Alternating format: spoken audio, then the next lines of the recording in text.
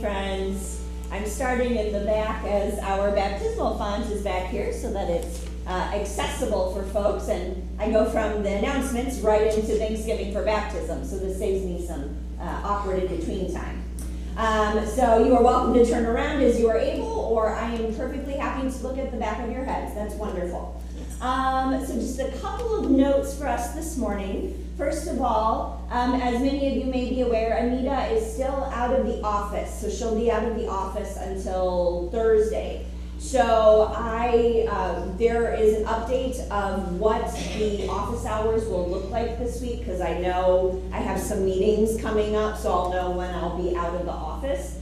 That was sent out in the midweek blast, and it's, there are hard copies of that available on the table in the narthex, so that you have that information please just call the office before you come, just to ensure that I am for sure here and haven't been called out on a pastoral emergency. Um, fortunately, that doesn't happen too often, but it, it does happen. So, um, secondly, if you um, an Easter lily and would like to take one home with you, we would love for those to go home with you rather than um, slowly become a little, little less uh, resurrected here. Um, so, I don't know, it feels weird to talk about that, you know, resurrection and all that. So if you do that, and if you didn't purchase one and would like one, please let me know. I am almost certain we will have many leftovers, and I'd be very happy for these to go to someone's home again. Otherwise, they will be returned to God's earth. With that, dear friends, I do invite you to rise as you are able as we continue with our Thanksgiving for baptism.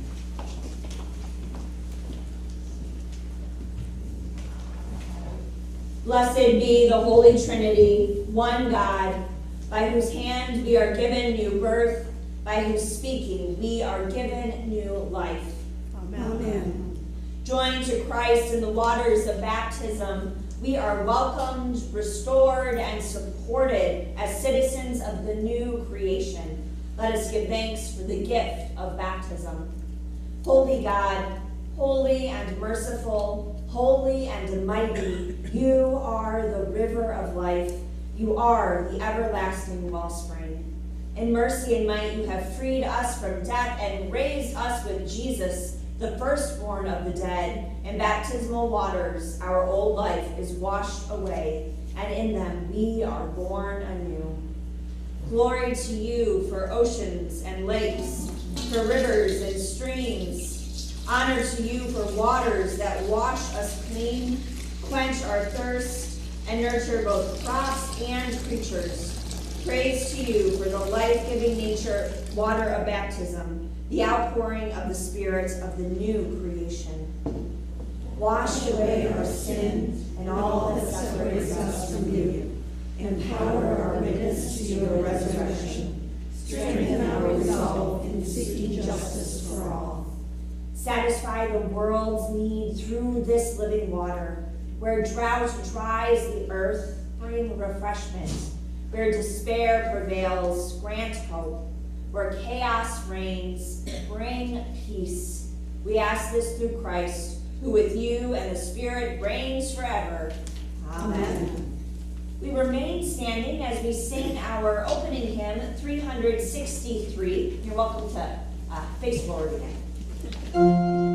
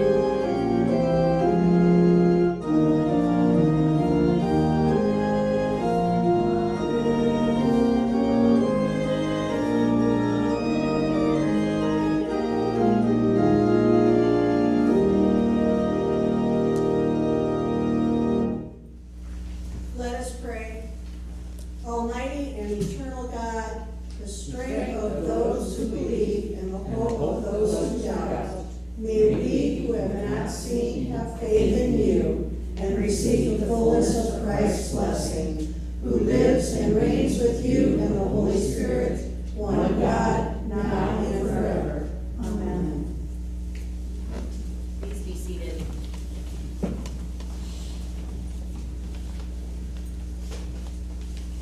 The first reading is from the book of Acts, chapter 2.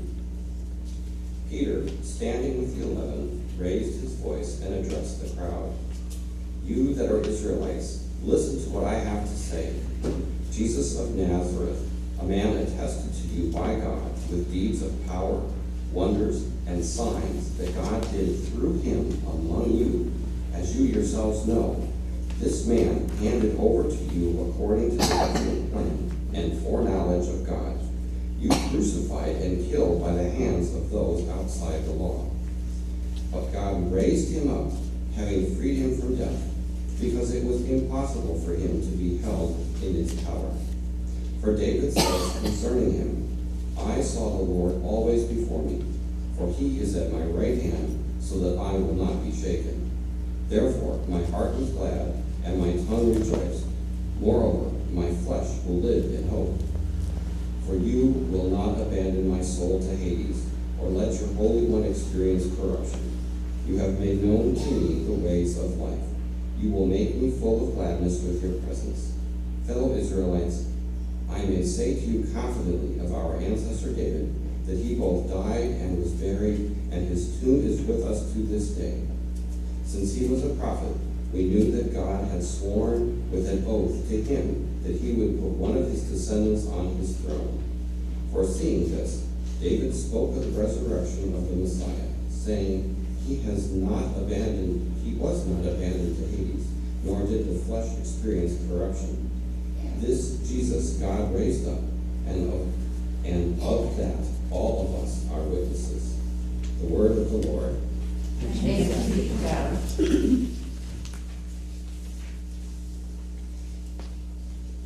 Please join me in singing Psalm 16 responsively.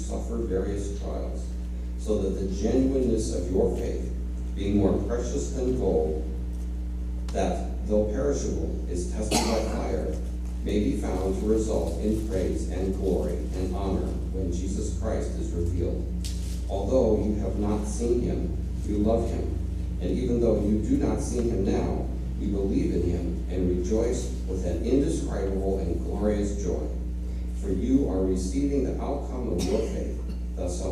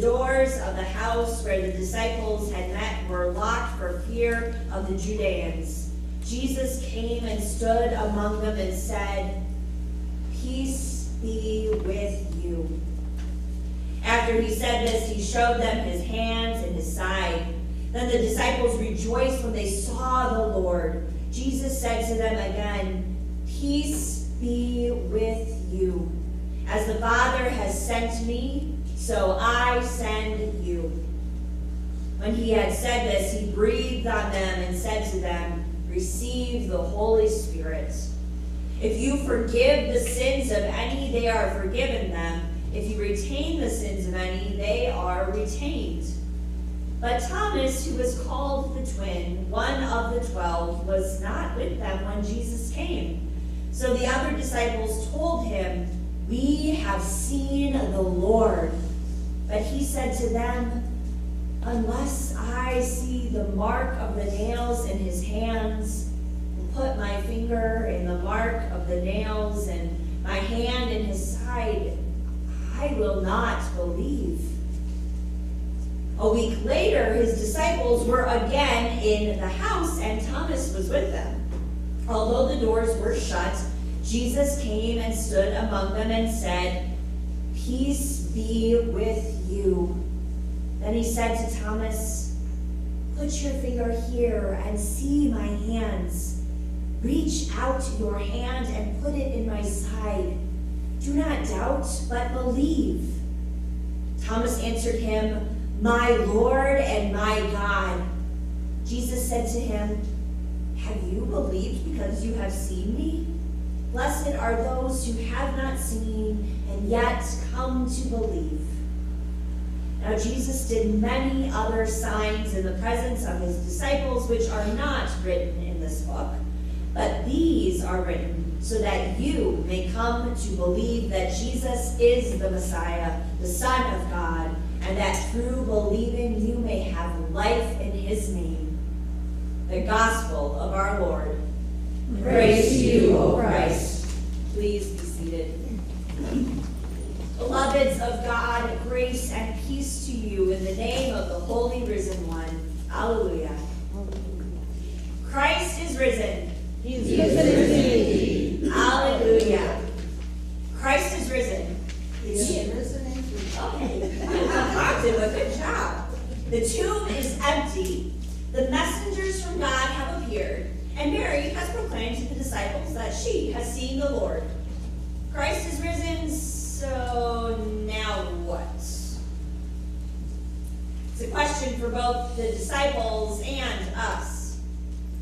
When we join them today, the disciples still don't know what is exactly going on, except that for them, three days ago, they witnessed the brutal execution of their friend and rabbi and Lord. And now they have reports that he is alive again. Or, well, he's at least not in the tomb where Joseph of Arimathea laid him. So they decide that the best course of action is just to lay low for a little while. And so on that Sunday evening, we find them gathered together in fear and uncertainty behind locked doors. They were afraid that what happened to Jesus could happen to them. And in the midst of their fear and uncertainty, Jesus appears, saying, Peace to the very startled disciples. Can you just imagine all of them sitting there completely in shock? Right? The doors, first of all, are locked. So, how did this fella get in there? And they might have a guess as to who he is, but they do not immediately recognize Jesus as Jesus until they see the marks in his hands and the mark in his side. It is then that the disciples, seeing Jesus, rejoice, for Jesus is the one who is among them. But the question still hovers now what? Now that the disciples recognize him, Jesus can answer this question. He gives them the gift of peace, saying, The Father has sent me, so I send you. And he breathes on them, just as God breathed into Adam at creation. It's the same word. They, they, there's the Hebrew and there's the Greek, but they are the same, they mean the same thing. It is God's breath, God's spirit that Jesus breathes onto them and tells them that they are to continue his work. Right? The work of bearing witness to what is possible in our relationship between us and God.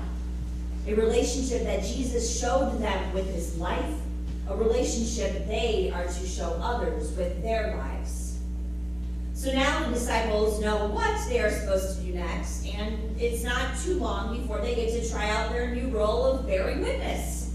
Right? It turns out that Thomas, one of their own, was not with them when Jesus came to them. But he was a follower of Jesus, so he should be a pretty easy sell, right? So, echoing Mary, who that morning had told them that she and the others had seen the Lord, they proclaimed to Thomas, We've seen the Lord.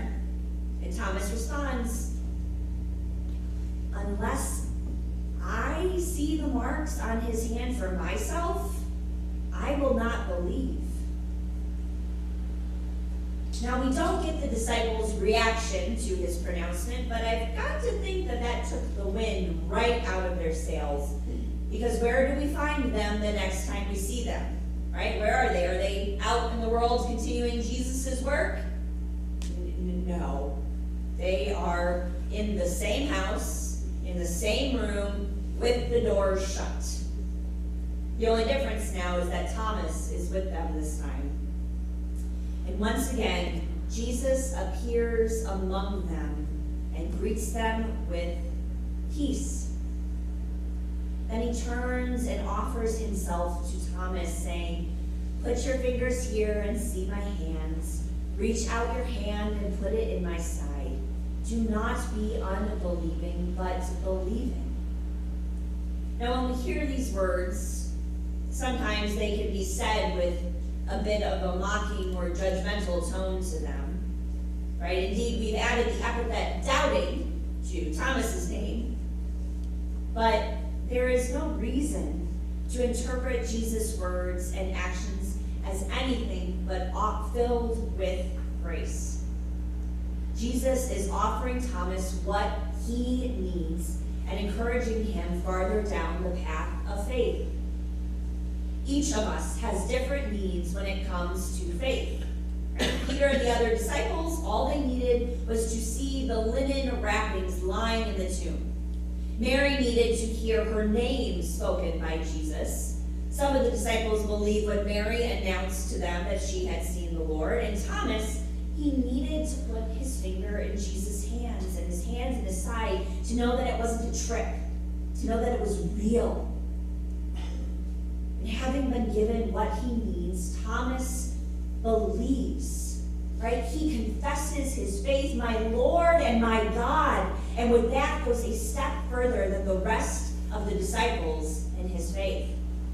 He grasps the nature of the special relationship between Jesus and his Abba, a relationship that the author of John's Gospel has been proclaiming from the very beginning. Right? In the beginning was the Word, and the Word was with God. Thomas gets it. Have you believed because you have seen me? Jesus asks, knowing full, full well that it is what Thomas requested. But then he goes on, seeming to kind of turn to us, to his future audience, Blessed are those who have not seen and yet have come to believe. Again, I don't think that there is judgment in those tones. We we put judgment in there. We read it like that. I know that I have myself. But Thomas is blessed with his faith through sight, and those who believe without seeing Jesus are also blessed. It is a both and situation, which is my favorite favorite part of our theological tradition. We are blessed by our belief, not by how we come to it. There is no greater blessing than being in relationship with Jesus, with God, full stop.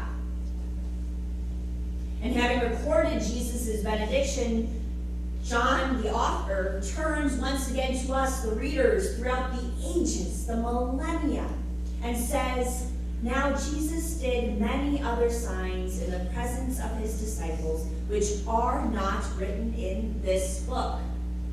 But these are written so that you may come to believe that Jesus is the Messiah, the Son of God, and that through believing you may have life in his name.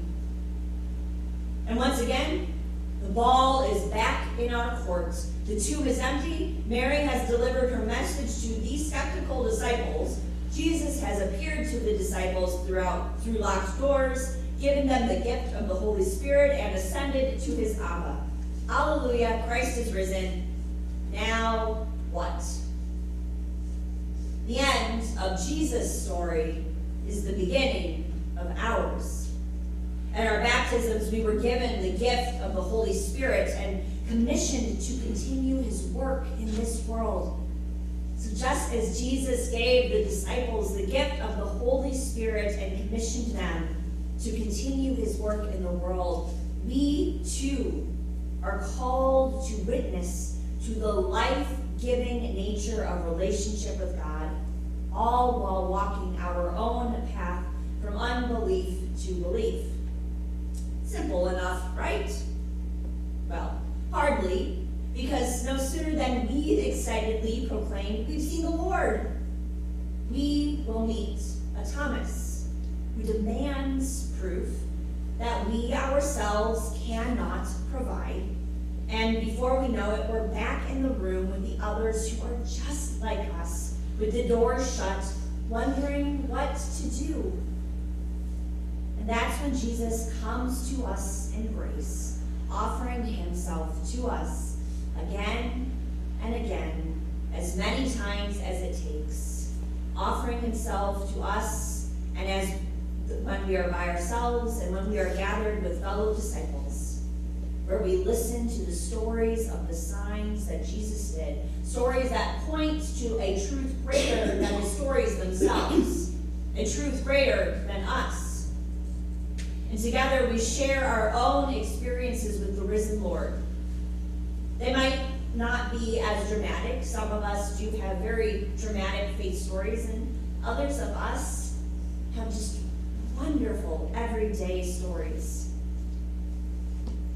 We all have had encounters with the Holy, whether He has sailed through locked doors or whether He meets us out in the open.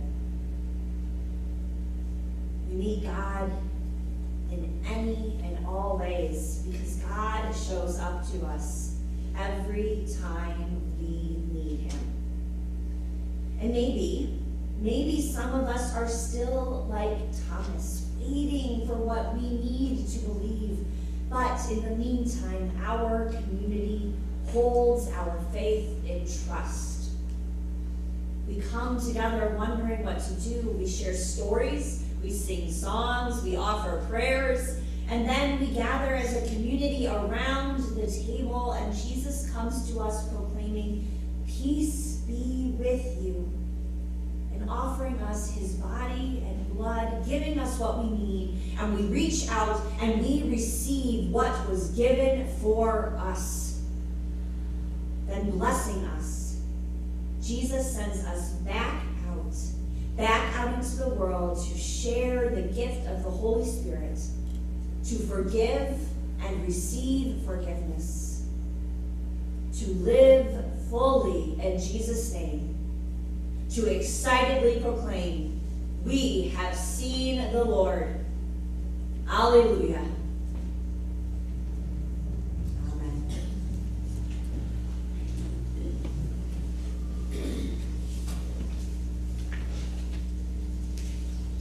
I invite you to turn to hymn number 390 and so please rise as you are able for our hymn of the day.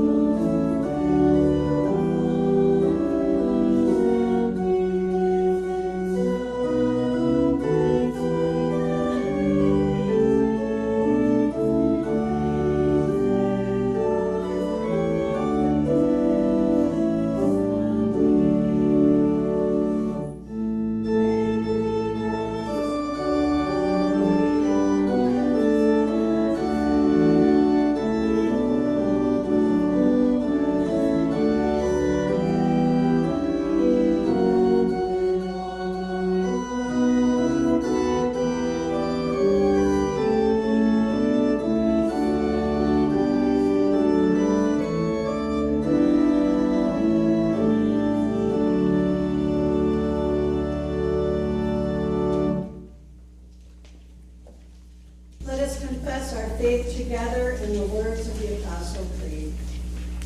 I believe in God, the Father Almighty, creator of heaven and earth. I believe in Jesus Christ, his only Son, our Lord, who was conceived by the Holy Spirit, born of the Virgin Mary, suffered under Pontius Pilate, was crucified, died, and was buried. He descended to the dead. On the third day he rose again.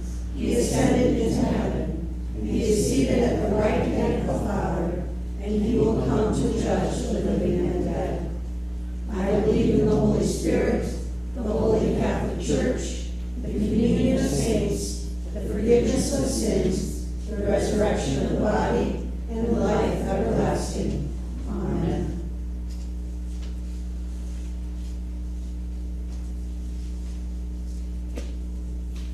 United in the hope of hope and joy of the resurrection, let us pray for the church, the world, and all in need.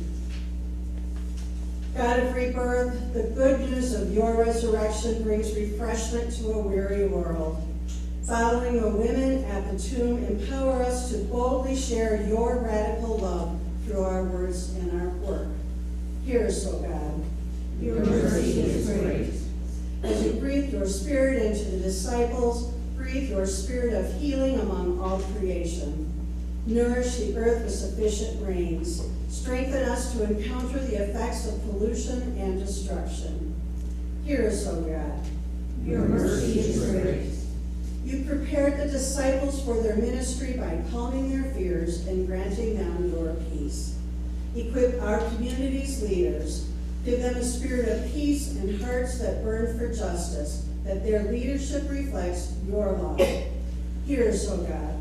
Your mercy is great. You come among us in unexpected ways. Send us to those who hide in fear or question your love. Be a healing presence for any isolated by addiction, incarceration, mental illness, chronic pain, sickness, or grief. We pray especially for healing for Tim Anderson and for John Graniason. We also pray especially for Diane as she nears her life's end, and for Karen, who is with her support. Hear us, O God. Your mercy is great. As you met the disciples on the road to Emmaus, show us your presence among our journeys. Bless our doubts and questions. Provide trusting and safe relationships for all ages to nurture our connection to you and one another. Hear us, O God. Your mercy is great. Resurrecting God, you bring us to new life every day. Thank you for blessing us with companions on, on our faith journey, especially those who now rest in your love. Strengthen us with the eternal peace of your promises. Hear us, O God. Your mercy is great. Rejoicing in the victory of Christ's resurrection, we lift our prayers and praise to you, Almighty and eternal God, through Jesus Christ, our risen Lord. The peace of Christ be with you all. And also with you. I invite you to share a sign of that peace with one another. Peace be with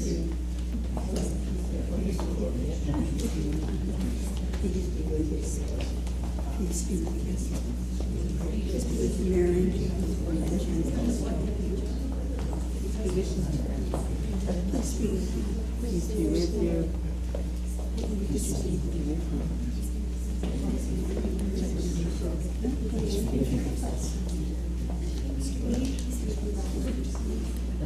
Spirit, yeah.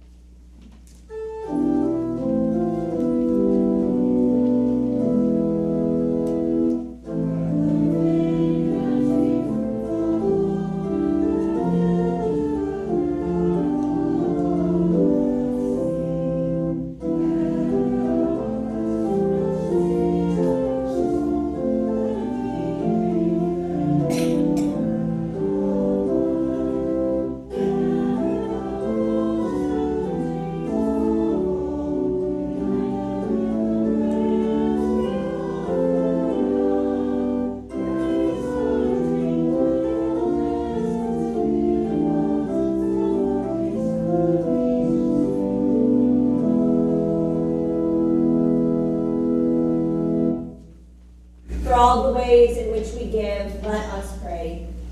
Generous God, in this meal you offer your very self. We give thanks for these gifts of the earth. And the breaking of this bread revealed to us the risen one. And the pouring of this wine, pour us out in service to the world. Through Christ our Lord. Amen. The Lord be with you. And Also with you. Lift up your hearts. We lift them to the Lord. Let us give thanks to the Lord our God. It is right to give our thanks and praise. You are indeed holy, almighty, and merciful God. You are most holy, and great is the majesty of your glory. You so loved the world that you gave your only Son, so that everyone who believes in him may not perish, but have eternal life. We give you thanks for his coming into the world to fulfill for us your holy will and to accomplish all things for our salvation. The night in which he was betrayed, our Lord Jesus took the bread, broke it, and gave it to his disciples, saying, Take and eat. This is my body given for you. Do this in remembrance of me. Then again, after supper, he took the cup, blessed it, and gave it to his disciples, saying, Take and drink. This cup is the new covenant shed in my blood for you and all people for the forgiveness of sin. Do this in remembrance of me. For as often as we eat of this bread and drink from this cup, we proclaim the Lord's death until he comes. Christ has died. Christ is risen. Christ will come again. Remembering therefore his salutary command, his life-giving passion and death, his glorious resurrection and ascension, and the promise of his coming again, we give thanks to you, O Lord God Almighty, not as we ought, but as we are able. We ask you mercifully to accept our praise and thanksgiving, and with your word and Holy Spirit to bless us, your servants, and these your own gifts of bread and wine so that we and all who share in the body and blood of Christ may be filled with heavenly blessing and grace, and receiving the forgiveness of sin, may be formed to live as your holy people, and be given our inheritance with all your saints. To you, O God, Father, Son, and Holy Spirit, be all honor and glory in your holy church, now and forever. Amen. Gathered together as one by the Holy Spirit, we pray as Jesus taught us. Our Father, who art in heaven, hallowed be thy name. Thy kingdom come, thy will be done, on earth as it is in heaven. Give us this day our daily bread, and forgive us our trespasses, as we forgive those who trespass against us. And lead us not into temptation,